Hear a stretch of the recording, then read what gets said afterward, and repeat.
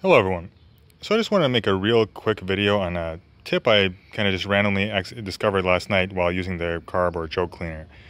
Now, I was cleaning out the carbs and I kind of normally give it like light sprays and make sure everything's soaked. I kind of give a good spray into some of the orifices.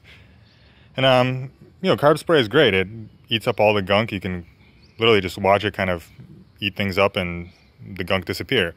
However, I never really just sprayed it full speed at, at different dirt before and yesterday I just decided to hold down the nozzle all the way at some of the gunk, and I was really just surprised at how well this carb or choke cleaner removes random gunk when you just hold it down all the way.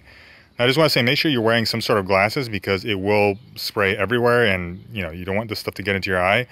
But the just how well this removed old dirt that's been sitting there for 10 or 15 years just from the spray, like literally just vanished in seconds. It was impressive, and uh, that's just uh, all I learned. Is before I used to kind of, I mean, I still often use it in small sprays, kind of conservatively, but if you just spray this like hell, it it gets it really gets the stuff out of there.